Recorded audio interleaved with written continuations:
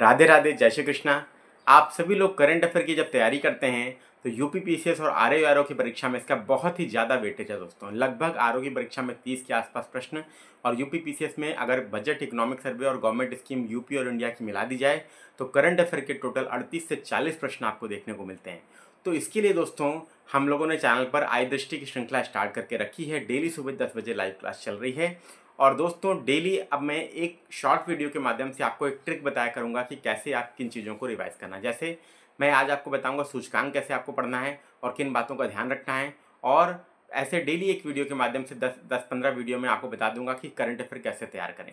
तो चलिए, सबसे पहले आज हम लोग बात करेंगे सूचकांक कैसे तैयार करें? देखिए, सूचकांक के संबंध में मैं आपको बता दूँ, करंट अफेयर सब लोग पढ़ते हैं, सूचकांक सब लोग पढ़ते हैं, लेकिन यूपी पीसीएस या आर की परीक्षा में, बिहार पीसीएस में सभी प्रश्न सही नहीं कर पाता क्यों? क्योंकि आजकल जो प्रश्न आ रहे हैं, वो मल्टीपल स्टेटमेंट के आ रहे हैं मैच द फॉलोइंग के आ रहे हैं असरसन रीजन के आ रहे हैं। आरओ का ग्यारह फरवरी का पेपर उठा के आप देखिए, पूरा यूपीएससी का पैटर्न वो फॉलो कर रहा है। और उसके लिए हमें करंट अफेयर उसी हिसाब से पढ़ना है। तो इसके लिए आपको करना क्या है दोस्तों? मैं आई दृष्टि पढ़ा रहा हूँ जो, वो इसी तरीके से पढ़ा रहा हूँ कि आपके मल्टीपल स्टेटमेंट वाले प्रश्न मैच द फॉलोइंग असरसन निधन वो सब आपसे बन जाए अगर आए तो।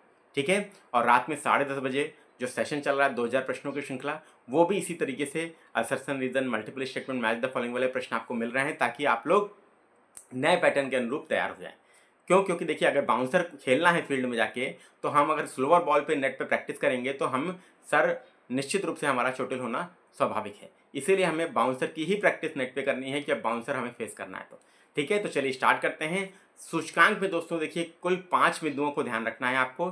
सबसे पहले कोई भी सूचकांक आप पढ़िए, जैसे आपका विश्व शांति सूचकांक है तो सबसे पहले कौन इसे जारी करता है? इसके बाद शीर्ष देश कौन से हैं? शीर्ष देश के साथ टॉप फाइव कंट्रीज़ आपको याद रखना है। तीसरा हो गया।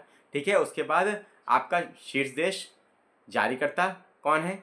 और जारीकर्ता के साथ साथ दोस्तों आपका टॉप फाइव कंट्रीज़ तो ये आपको तीन याद रखना है। उसके बाद भारत का स्थान चौथा और टॉप एकदम लास्ट में, आखिरी में बॉटम में सबसे आखिरी में कौन देश है?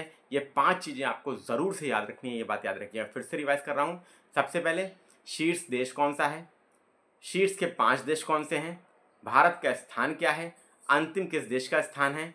और जारीकर्ता संगठन या संस्था कौन सी है? ये पाँच चीज़ें दोस्तों आपको याद रखनी है। इसके अलावा कुछ कुछ महत्वपूर्ण सूचकांक है, जैसे मानव विकास रिपोर्ट होगी, ठीक है? आपके पर्यावरण से संबंधित कोई रिपोर्ट हो गई, पर्यावरण प्रदर्शन सूचकांक हो गया, इसमें आपको स्कोर भी याद रखना है। सतत विकास सूचकांक हो गया, इसमें आपको स्कोर भी याद रखना है दोस्तों। क्योंकि स्कोर भी पूछा जाता है तो ये छठवीं पैरामीटर हो गया।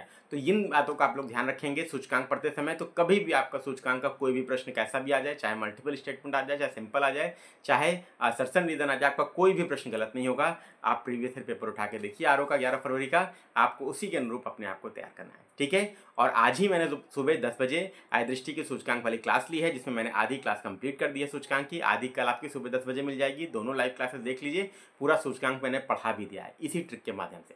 तो वीडियो पसंद आया हो तो लाइक कीजिएगा, शेयर कीजिएगा, चैनल पर नए हैं तो सब्सक्राइब कीजिएगा। मिलते हैं नेक्स्ट वीडियो में। Thank you.